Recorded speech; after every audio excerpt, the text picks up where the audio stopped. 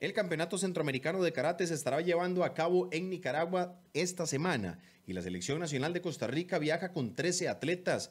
De acuerdo con su entrenador Alexander Vargas, es importante el trabajo que se ha llevado a cabo en la parte física. Sin embargo, saben que desde la parte técnica y táctica todavía falta mucho por mejorar.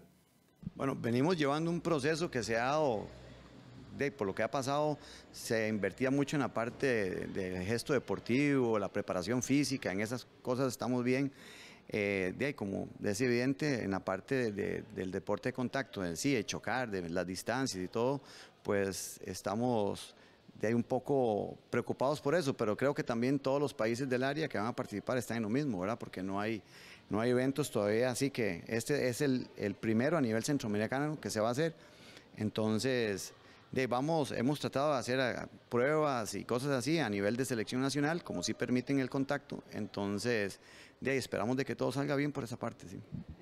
Si bien es cierto, los resultados más positivos esperan darlos en este campeonato.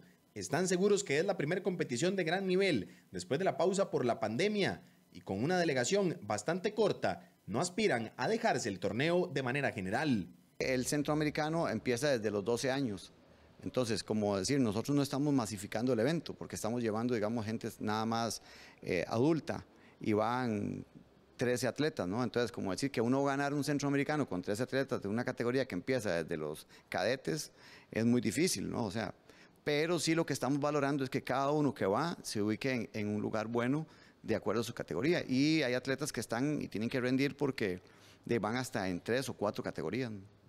La Selección Nacional de Karate también busca ponerse a punto para los siguientes eh, torneos, un Panamericano que se avecina en el próximo mes de mayo y además continuar la preparación de cara a la clasificación a los Juegos de Santa Tecla en el 2022.